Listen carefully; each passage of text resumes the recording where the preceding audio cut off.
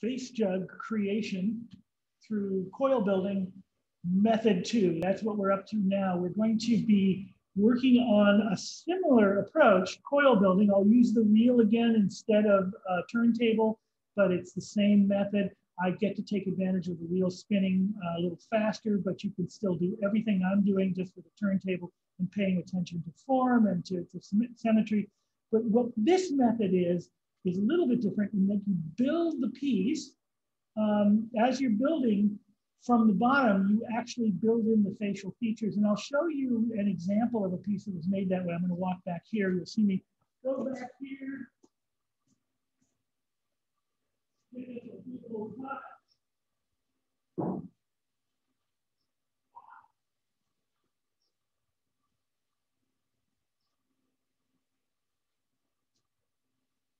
And here you have it. So this piece here, quite large, right? We're looking at, at 30 inches maybe, um, maybe even 36 inches. So it's a big piece and it is um, made by coil building on the wheel. And as I'm working, I'm, I'm building up and adding um, the facial features as I go. This is quite extensively larger than a traditional face jug piece. Don't really expect, you might want to try making something 12 inches, 14 inches, maybe even 16 inches, but not this large perhaps in your first effort. I'll put this over here and it can watch us work. But this method is what I use when I'm working on something larger here. Clearly, this is where contemporary art interests take over. So what's happening is I'm interested in the face jug as a way of creating um, a, a, sculptural head. But at the same time, I'm also interested in it. I'm, I'm I, I, I, completely um, engage in the concepts of the, the origins of the, the, the ceramic tradition. And I have a lot of respect for it and a lot of interest in it. And I'm working with my contemporary ideas, but fully acknowledging that this came from um, this amazing period in our history with such tragedy and such an evidence of um, human uh, capacity for rising above this whole um, human dignity that comes from um, redemption of creativity. So I'm very interested in the whole origins of these, these pots, but I also really love making sculptural heads. So that's what we'll see here. So this may take a few different videos as I go up. Um, you may have some pausing may be necessary to stop and let it dry a little bit, but we'll get the whole process uh, on, on, film, on video here as we go. So we're gonna look down, I'm working from the other side of the wheel this time so you can actually see my hands a little clearer. And Going to start uh, the same way. It all starts the same as you saw in the first video.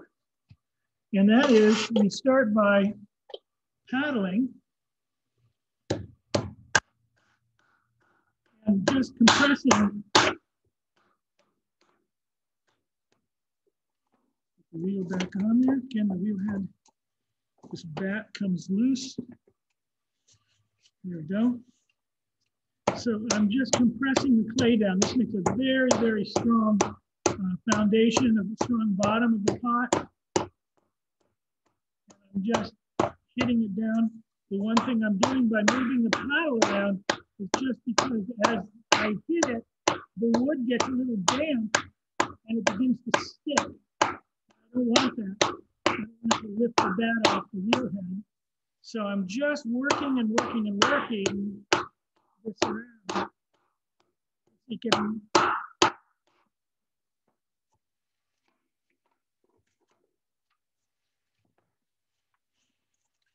And there it goes off the pins as well. Got to put the bat back on.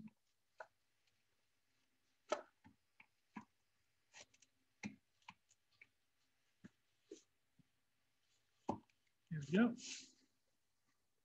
So we continue just compressing. Compressing makes a very, very strong bottom, very unlikely to crack. Also gets a lot of your frustrations out. Whack and play is a good way to express frustrations. And I don't know if you've noticed, but we're in kind of frustrating times. Uh,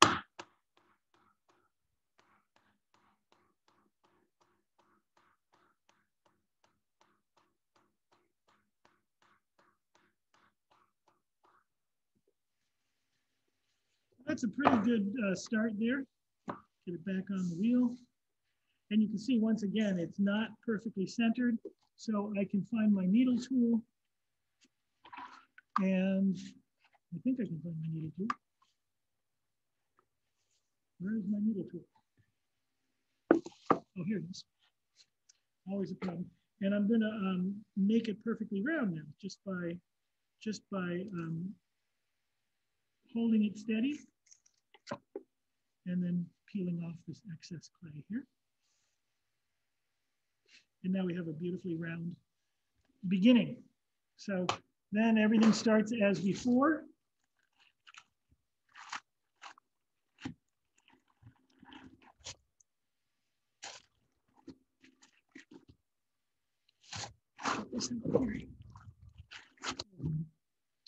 So I'm going to start by adding the coil here. And again, wiping in, lifting up, wiping in, lifting up, wiping in, lifting up, wiping in, lifting up. And I continue that all the way around. And I really dig into the bottom section. It is, remember, I've made it a little thicker just for this purpose to get a little clay and wipe it into the coil.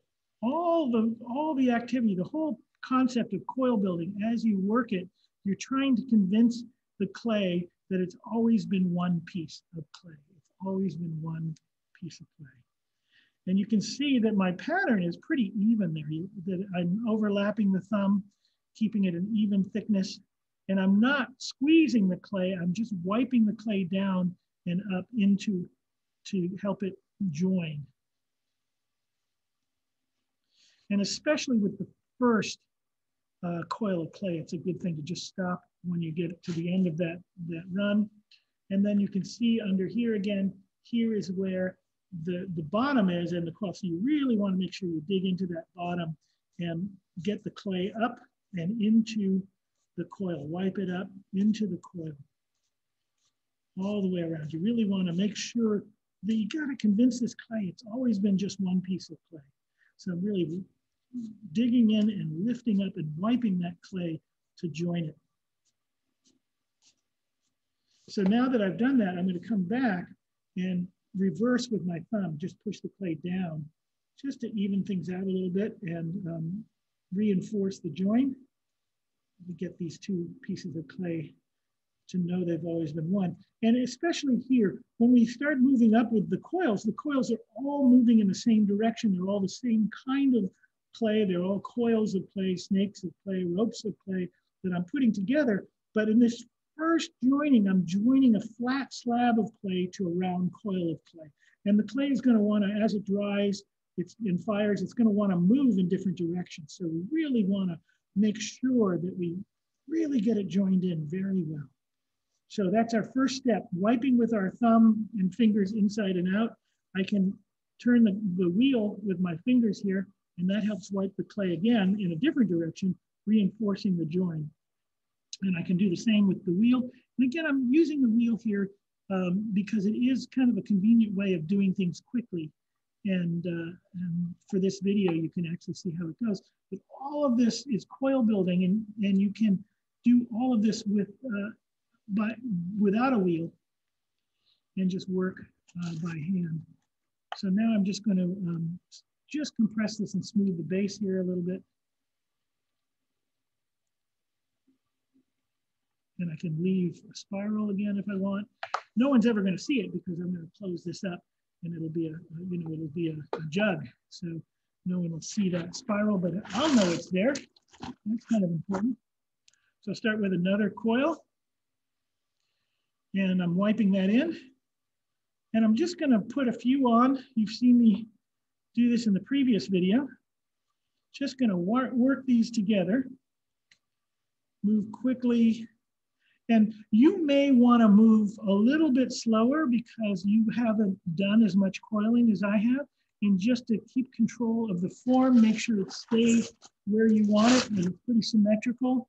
Um, you can continue to work the clay.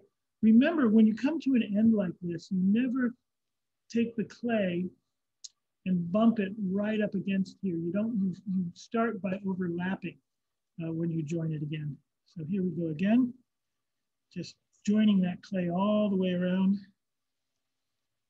You can see me wiping with my thumb, pushing the clay together.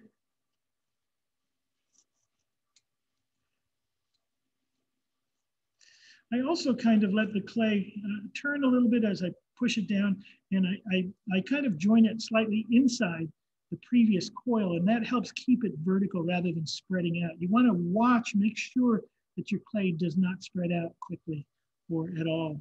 Um, so I'm just working here from the point of view of a head, we can say that I'm sort of in the chin area here. I'm working um, with um, what will eventually become the chin of the piece.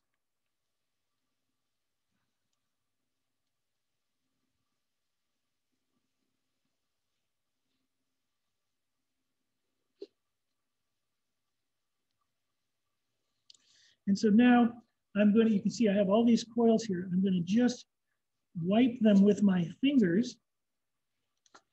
And once I start working out the chin, physically start sculpting and pushing the chin out, I'm gonna, this piece is no longer gonna be um, in the round. It's no longer gonna be completely symmetrical. So the wheel will uh, really function only as a turntable, as a banding wheel. I won't be able to spin the, the wheel uh, quickly and do the kinds of things you saw me do in making that previous pot. Um, I, I, won't be able to do this, for instance, because um, once I start making it asymmetrical, it no longer will function this way. So you'll see what I mean as we get there. I'm just now just smoothing the inside and the outside simultaneously, and then I'm going to use a rib to, to reinforce that.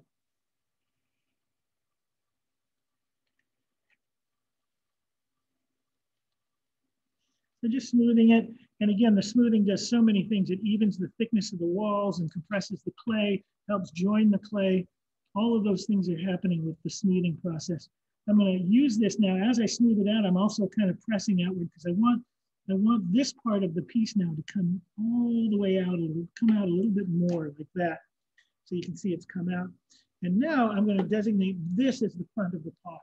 And so I'm going to start thinking about what, what does a chin look like? And I'm just pushing my fingers on the inside here. You'll see it from, I'll do it from over here. I'm just pushing out with my fingers here to create what I think might be a kind of chin shape.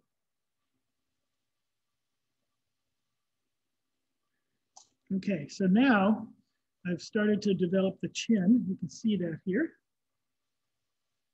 Maybe make it a little bit wider. That would be good. And then I can start the coiling again. Put this piece of plastic out of the way and start with um, some more coiling. Let's go back here and start joining the coil. And hopefully with this video, I hope to get into at least the mouth of, of this project get into building the mouth. And the only uh, thing that will prevent me from doing that is if the clay gets too saggy, if it's too wet, I'll need to pause and let it stiffen up a little bit before I go any further. We'll see here.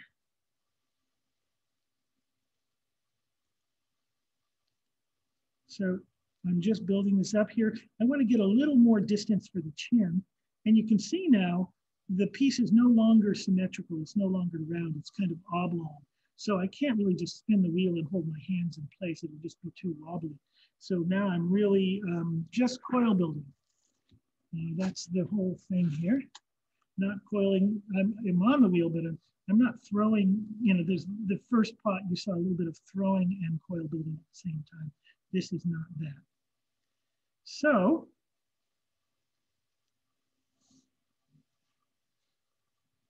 just gonna finish this last coil here. And we will, there we go, start thinking about, well, the mouth could be right in here. So I wanna start considering applying the lower lip. So I will show you that in a minute. I'm just gonna make sure these coils get joined like that.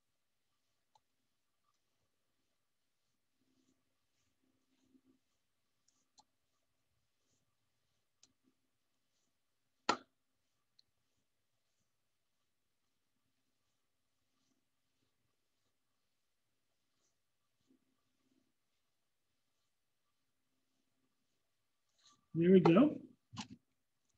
And now I'm going to use my ribs to work the clay, smooth the clay.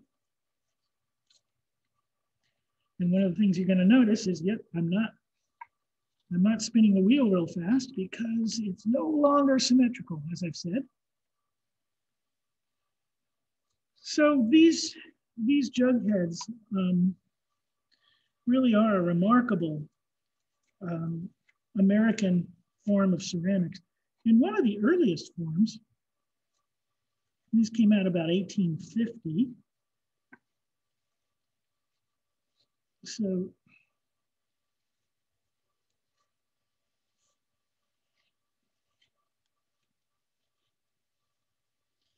So we can start seeing that. And you really want to start visualizing this as a, as a human head, whatever that, however that helps you imagine it.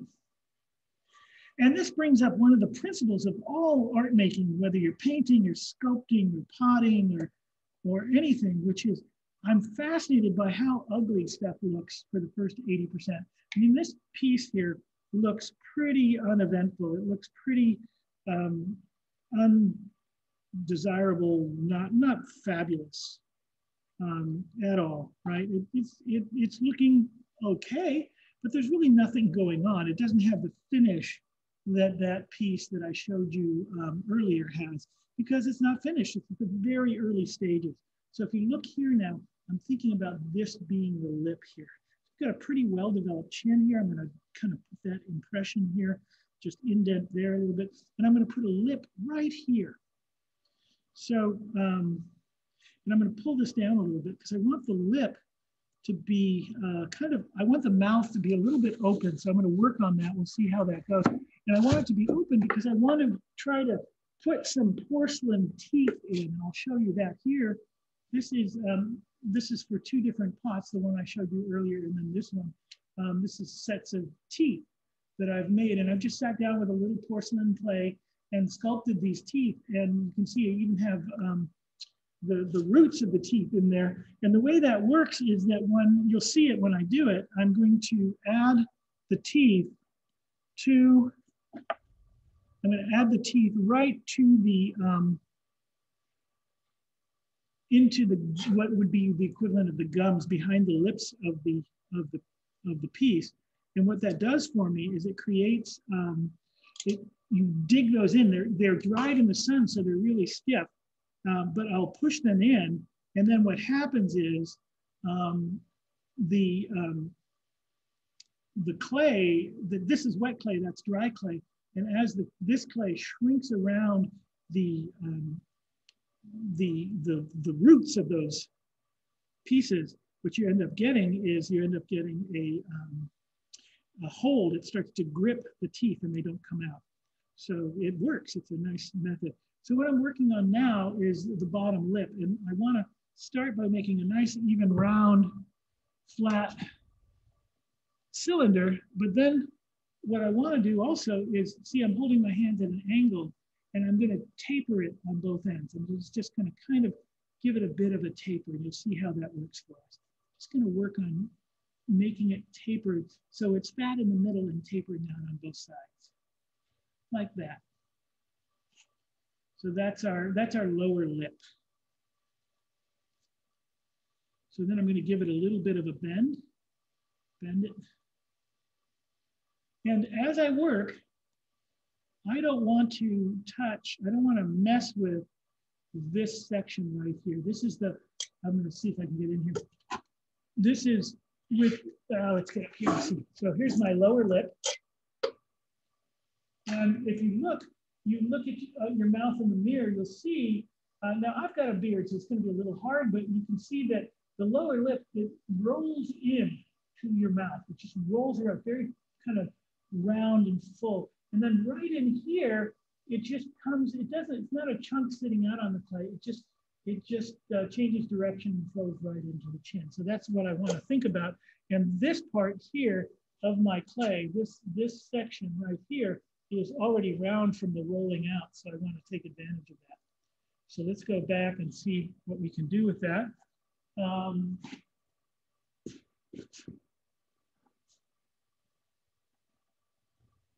I'm going to go grab one tool. Very professional.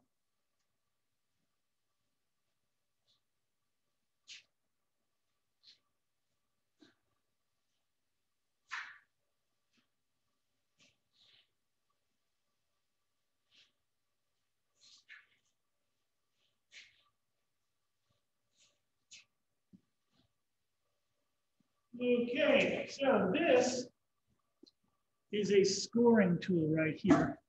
It, uh, you buy them in cooking shops. They come in all kinds of forms, and they're all they all work really well. And um, they're onion holders. They're used uh, in cooking to hold on to an onion as you slice it very thinly. So you can see that I'm scoring that area, and then I'm going to score uh, where I'm going to join it. And then I'm just going to use this water here. it's, it's got a little slip in it, not much.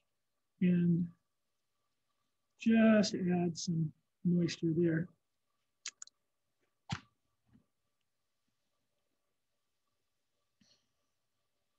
So you can see um, the lower lip is starting to go into place here. I'm going to hold it here and then notice I put my thumb right in the center and I'm going to wipe that right down into the chin. So I'm going to make sure that the lip feels like it's just part of the whole face. It's not a separate applied thing. It's going right into the, the face itself. So it looks like it's always been part of the face.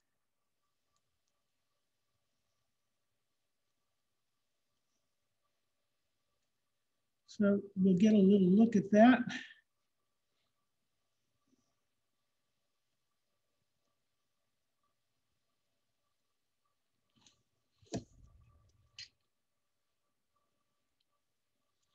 And what I'm going to do now is just use my rib to kind of sculpt that idea of the, the lower, the, the, the part of the lip that goes right into the lower part of, of your face there. So you can see it's just worked right in. And now I need an upper lip, but I also want this to hold liquid for some reason, just because it's it's part of the whole traditional idea of the jug. All of my pieces, they don't um, leak. They don't, they, they hold liquid. Um, I liked um, when I was researching uh, Clayton Bailey's um, fantastic artist, Clayton Bailey, who uh, passed away, I think this year. Um, a wonderful, wonderful artist who just one of the most creative, intelligent, humorous artist I've ever had the pleasure of knowing. And what he said about his is that he made sure that the noses, um, the nostrils of the nose went right into the center of the thing. So all of their noses ran. And it was something he thought was very, um, very important in his design that, that they were runny nosed face jugs. So you can see what I'm doing here is I'm going to make a little kind of the back part of the mouth. And I'm just going to join that in and it does a couple of things. One is um, it will eventually become the seal that keeps this from leaking. The other thing it's going to do is give me uh, the top where I can put my, um, how I can join, give me a way to join the uh, upper lip as well. Um, and this will also be uh, where the teeth end up being attached um, in theory. So I'm excited about that. But now what I'm going to do, I'm going to join this part. I'm not going to go for the upper lip just yet. I'm going to not touch this too much. I just want to get rid of any marks that I might have left on it. There we go. So you can start to see a kind of a very uh, pout, pouty lower lip there. And um, what I'm going to do now is um, you'll see just start coiling again. In order to attach that portion, I'm just gonna, you can do this, you can take your coil, you see I'm starting to coil the piece on there, and I'm just gonna work this section like it's always been part of the pot. I'm just gonna work that in.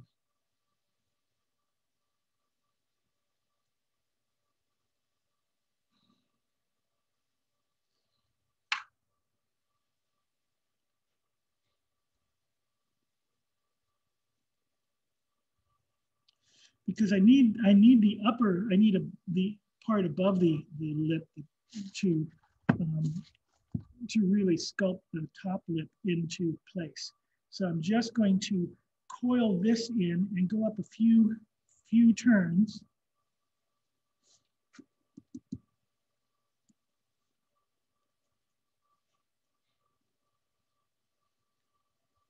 to really create um, a solid join here and get a little bit distance coming upward as I start to make the mouth. That's actually pretty good there. I want to see, I've got to join it on this outside. And there's a few little areas where there's some gaps in the clay, so I need to take a little extra clay and work it into those gaps so we don't have any cracking excess. I don't want any holes or anything, so I'm just work that in. And one of the things I, I am kind of inventing this as I go along because I want to get um, those teeth. I want to give those teeth a home, a place to go. And um, I know that um, I need space to do that. So I'm kind of working this out as I go along. Normally I put two lips right in, the, the lower lip and the top lip rests right on top of the lower lip. You can see that, uh, you saw that in the piece I showed you um, the larger piece has a lips resting. See if I can show you that over here. If you look at that piece, you can see that the top lip rests right on the lower lip. But in this case, I want an open mouth so we can see the teeth. So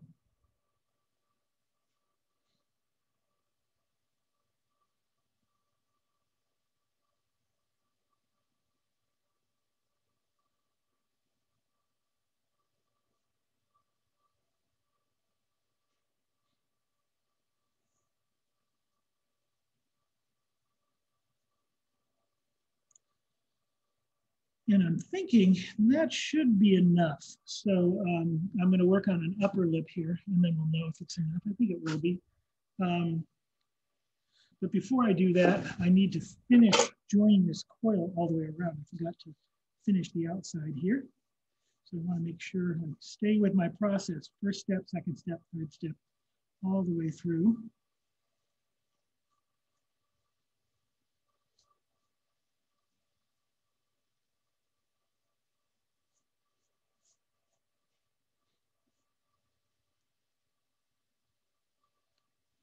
That's working nicely. Take my, my rib here and work that part of the joining. And notice when I work with my rib, oh, sorry, I'm showing you a great picture of my computer this whole time. My apologies, there we go. Real professional job here. So you'll notice that when I'm working with the rib, I work in two different directions. I'm always moving the rib in two different directions. And that gives me a very even surface. It, it prevents me from getting digs and un unevenness and inconsistencies in the form. Uh, that keeps the plane of the clay very even, smooths out any irregularities. If I just went in one direction, then what would happen would be that uh, any inconsistencies would just be reinforced and get worse and worse and worse. So that's what's happening there. And I'll just work a little bit on the inside here, though I've already done most of that.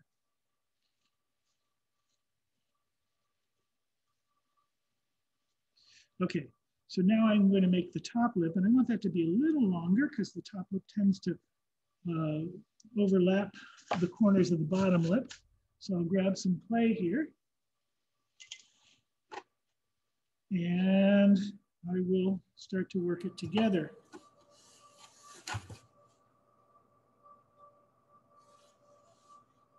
So I'm just going to join this clay here.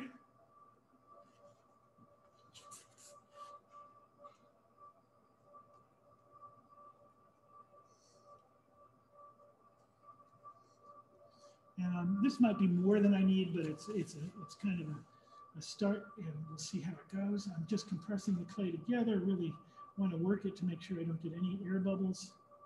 Compress it and then even it out. Go over to a table and roll it.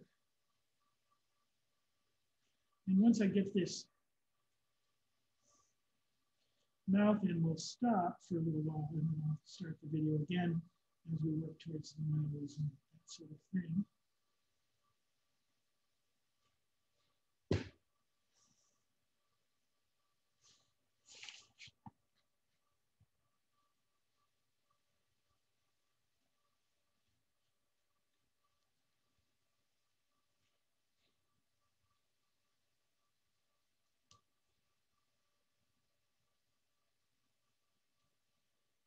Okay, so just working on smoothing it out. So we see we have a,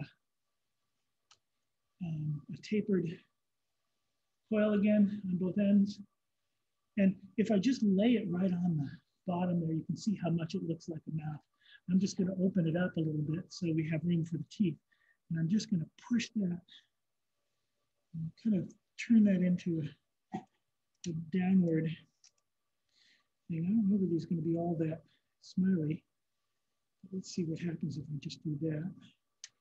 We'll join this one to the existing clay that we've got there.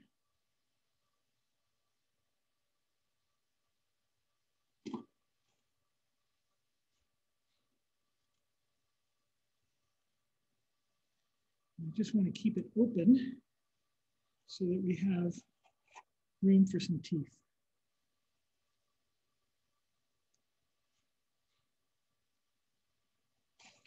And so you can start to see what the, what the mouth looks like.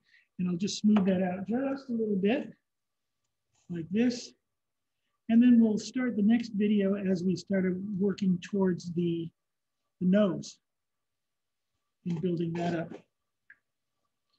But I'll be done with this in just a moment and then we will rejoin this in part two. The nose should be very exciting. So there you go. You can see it really does look like the mouth and I can move it around and make different kind of kind of work towards expression on it. It's gone a little too far on, on this side here. That's too long. So I can just come in here and break it down a little bit like that. And uh, that's looking pretty good. So we'll get back to it um, in part two. Stay safe, make art.